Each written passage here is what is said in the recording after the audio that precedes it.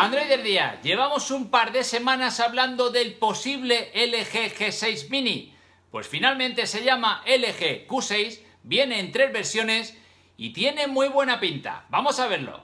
LG ha presentado su nueva familia de móviles LG Q6. Las pantallas y marcos llegan a la gama media. Cuenta con una pantalla Full Vision de 5,5 pulgadas con resolución de 2160 x 1080 píxeles, 18 novenos. El procesador es el Snapdragon 435 y viene acompañado por 2, 3 o 4 GB de memoria RAM según versión que tendrá 16, 32 o 64 GB de almacenamiento interno.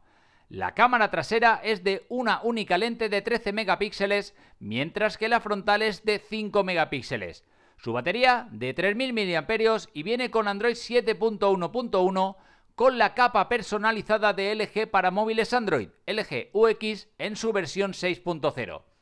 El LG Q6A tendrá 2 GB de memoria RAM y 16 de almacenamiento.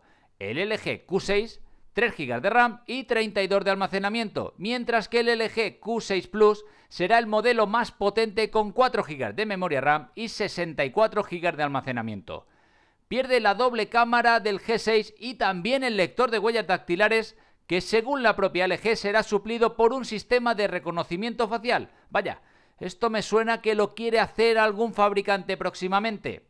Estará disponible a partir de la primera semana de agosto por 349 euros. La versión Plus llegará el 15 de septiembre, mientras que el LG Q6A no tiene por ahora fecha de llegada. ¿Qué te parece el LG Q6? Cuéntamelo aquí debajo en los comentarios y como siempre más, Eneal Vertical.